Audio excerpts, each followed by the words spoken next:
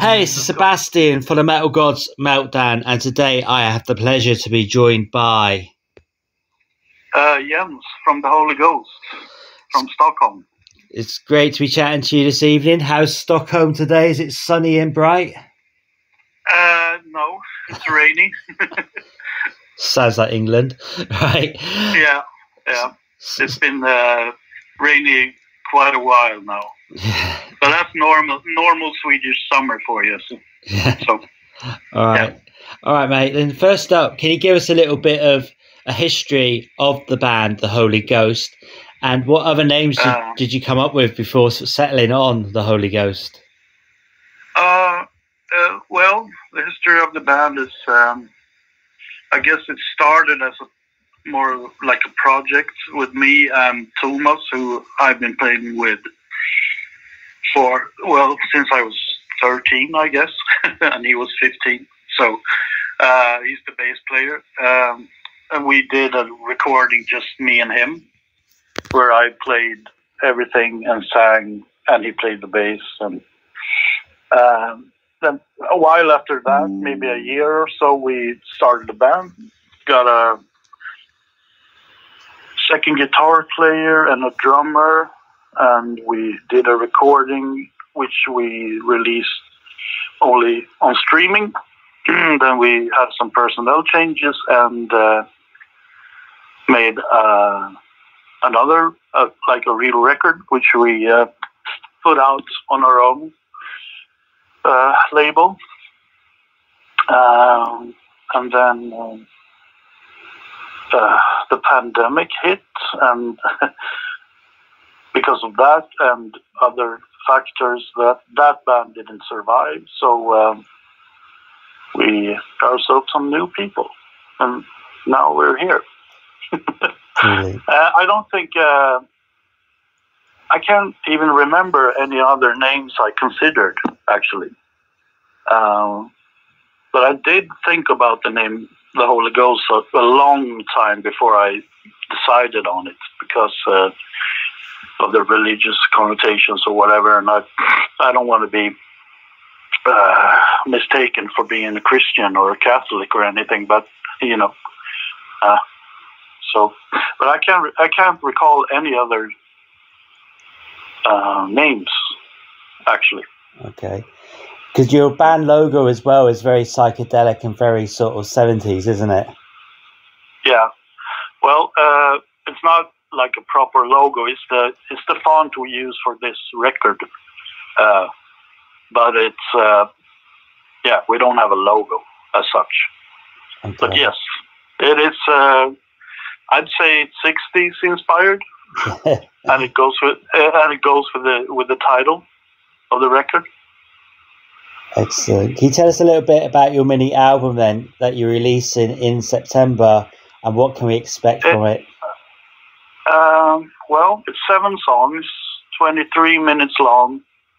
Uh, we did it only me and Thomas before we got the band together. So once again, we it's a two man thing. Uh, we recorded it at my friend's studio here in Stockholm called the Dust Ward. Uh, excellent place run by a very fine gentleman named Stefan Bremström. Um, uh, I don't know. What can you expect? I guess you know. Have you heard the two songs we have released so so so far? I've heard one of them, yes, just recently. Yeah. Okay. Yeah, yeah. Yeah. Well, it's kind of like that, but there's a little of everything happening on the record. Uh, it's a loud guitar rock, I guess. A loud, you know, indie rock, post-hardcore stuff.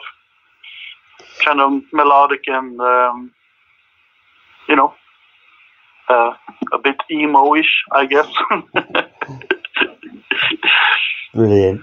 Um, so will you be Yeah. having a release party in Stockholm and other plans to sort of like have live streaming? No, there's no plans for live streaming. But yeah, we're having a release party on the release day uh, in a, like a, a dive bar, I guess you could say. uh, they have uh, like a stage in the basement takes holds about hundred people. That'll be probably enough space for us. But it'll be fun.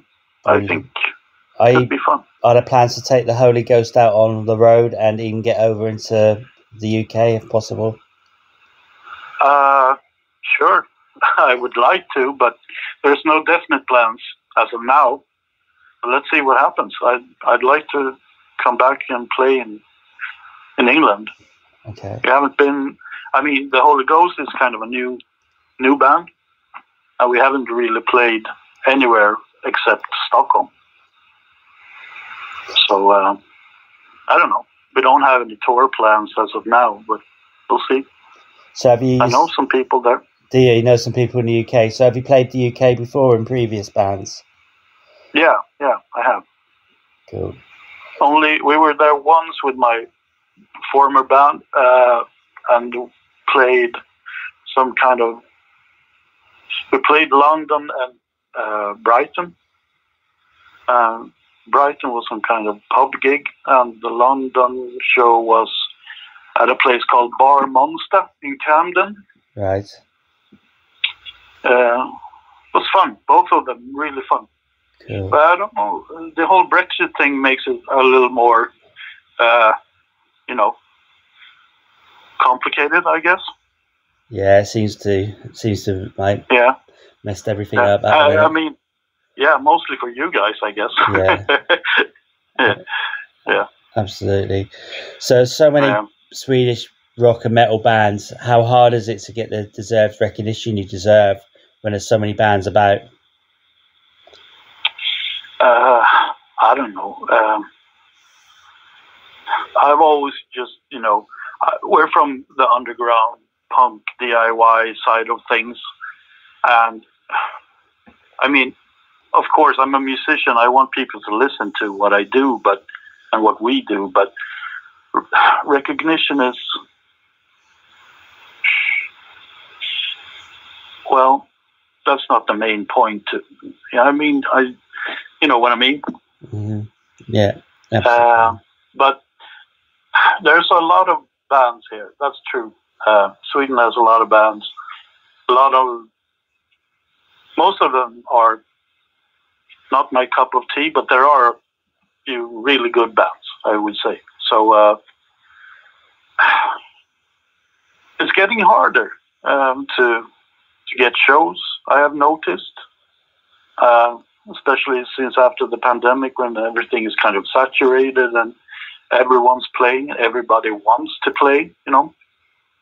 So Yeah. maybe as a small band that is kind of unknown, uh, it's uh, not so easy. Cool. So going back to the mini album when it gets released in September, are there plans to release any singles or videos before release date? Uh, we, I don't know if we're going to do a video, but there's going to be a, a third single released on 25th of August. It's going to be a song called Workers Curse. That's the last teaser before the whole the whole thing gets released in September. Brilliant. So then, can you give us name three bands that have influenced you in your journey as a musician? Uh,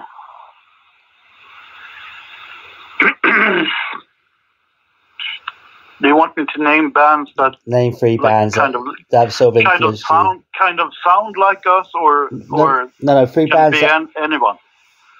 no, no, three bands that sort of like influenced you yourself as a musician growing up through the years. You know, like I don't know. I was going to say ABBA because you're Swedish. um, I don't know.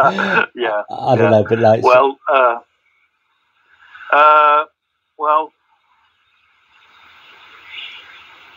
I mean, as it pertains to the sound of our band, I would have to say Dinosaur Junior, Husker Du, and Sonic Youth.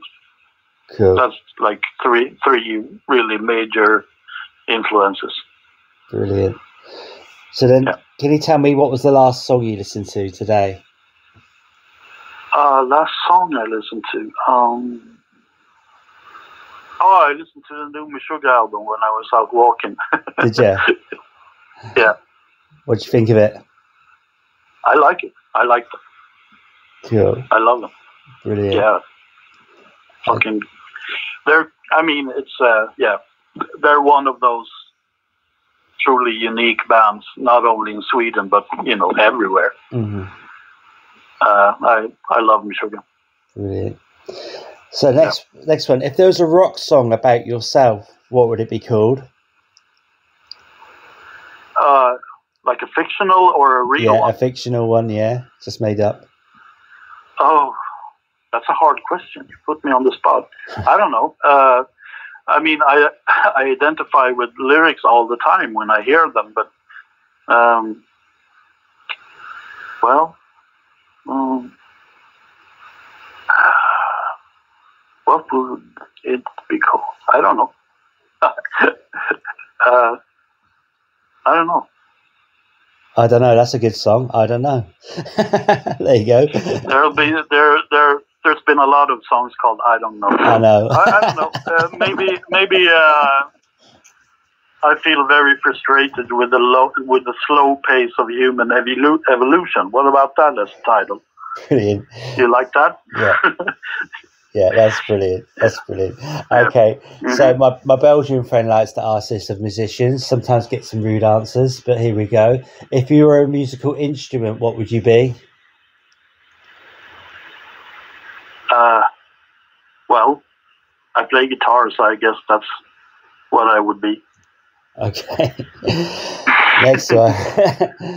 Is there a particular song written by someone else that you wish you had written? Oh, so many. Yeah. I mean, so many. Yeah. I, I mean, that's uh, yeah. Uh, let me see if I can think about one. I mean, there's there's a lot of nice love songs and everything, but there's also like the put down songs, which can be kind of uh, kind of something you go to in your mind when someone's being an asshole, you know. hmm And uh, plenty of those.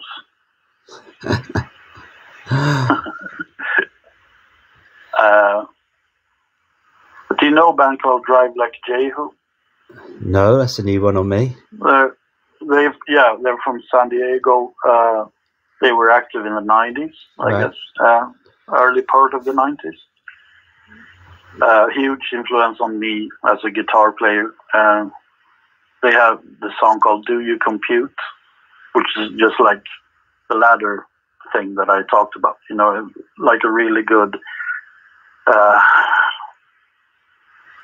uh, like um, something you wish you just could say to someone who's being an asshole. Yeah. Brilliant.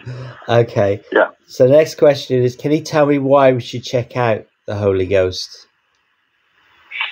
Well, if you're curious about